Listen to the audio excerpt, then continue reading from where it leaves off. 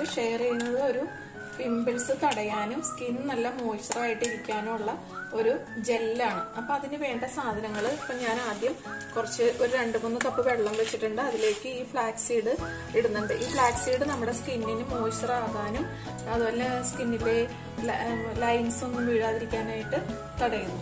അപ്പൊ നമുക്ക് ആദ്യം ഈ ഫ്ലാക്സ് സീഡിനെ ഒന്ന് ഇടാം. ഒരു രണ്ട് മൂന്ന് ടേബിൾ സ്പൂൺ ഇടാം. ഞാനിപ്പോൾ ഇത് കൂടുതൽ ഉണ്ടാക്കുന്നുണ്ട്. ഇവിടെ എന്റെ മോൾ ഇത് യൂസ് ചെയ്യുന്നതാണ്. അപ്പം അതുകൊണ്ട്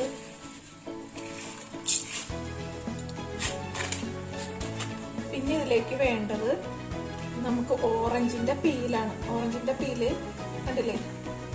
അപ്പം ഇത് നമ്മൾക്കത് പീസാക്കി ഇട്ട് കൊടുക്കാം.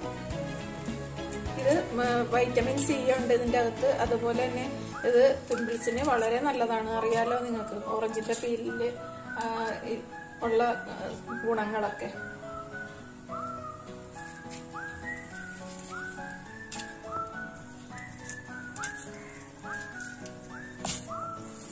പിന്നെ ഞാൻ അടുത്തായിട്ട് ഇടാൻ പോകുന്നത് കുറച്ച് ആര്യവേപ്പിലയാണ്. ആര്യവേപ്പില അറിയാലോ ആന്റി ബാക്ടീരിയലാണ് അപ്പൊ നമ്മുടെ പിമ്പിൾസിന് വളരെ ഉപകാരപ്പെടും.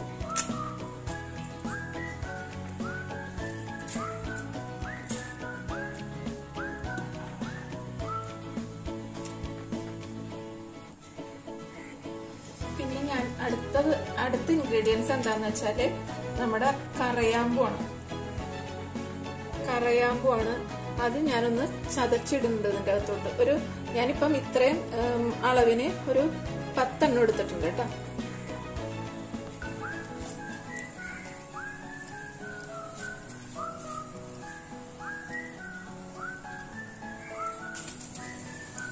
പിന്നെ ഞാൻ അടുത്ത ഇൻഗ്രീഡിയൻസ് എന്താന്ന് വെച്ചാൽ കസ്തൂരി മഞ്ഞളിന്റെ പൊടിയാണ്.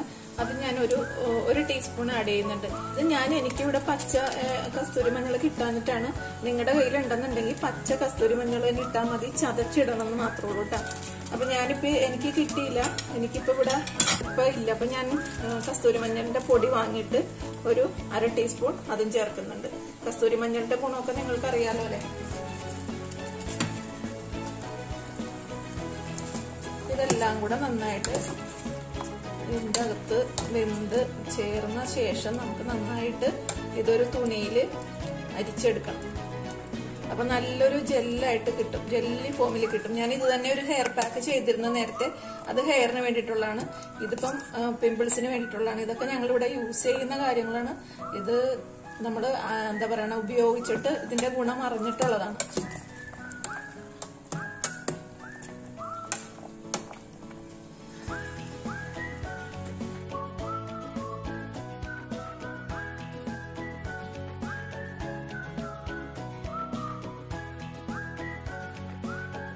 നമുക്കിതൊരു പത്ത് പതിനഞ്ച് മിനിറ്റോളം ഇതിന് നമുക്ക് നന്നായി വേവിച്ച ശേഷമേ നമുക്കിത് ഒന്ന് ഫിൽട്ടർ ചെയ്തെടുക്കാൻ പറ്റുള്ളൂ.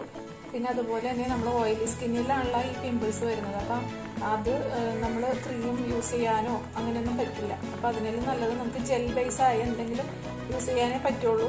അപ്പം നമുക്ക് ഇത് തന്നെ ഇപ്പോൾ ഹോം മെയ്ഡ് ആയിട്ട് ഒരു ജെൽ ഉണ്ടാക്കി എടുത്തു കഴിഞ്ഞാൽ ഇത് വളരെ നല്ലതാണ്. നിങ്ങൾക്കിത് ഉപയോഗിച്ച് നോക്ക്. ഞങ്ങളിവിടെ ഇത് ഉപയോഗിച്ചുകൊണ്ടിരിക്കുന്ന സാധനമാണ്. അപ്പം ഞാനിപ്പോൾ തീർന്നു കഴിഞ്ഞപ്പം ഞാൻ ഇത് ഉണ്ടാക്കി കഴിഞ്ഞപ്പോൾ ഞാൻ വിചാരിച്ചാൽ നിങ്ങൾക്കിതൊരു ഉപ- ഉപ- ഉപകാരപ്പെടുത്തണമെങ്കിൽ ഒരു വീഡിയോ ആക്കി ഇടാലോ എന്ന് ഓർത്ത് അങ്ങനെ ചെയ്തതാണ്. ഈ ജെല്ല് അപ്ലൈ ചെയ്യുന്നതിന് മുമ്പ് നമ്മുടെ ഫേസ് ഒന്ന് സ്റ്റീം ചെയ്ത ശേഷം ഈ ജെല്ല് അപ്ലൈ ചെയ്യണം. എന്നിട്ടൊരു ഇരുപത് മിനിറ്റിന് ശേഷം വെറുതെ വെള്ളത്തിൽ കഴുകിക്കളയാം.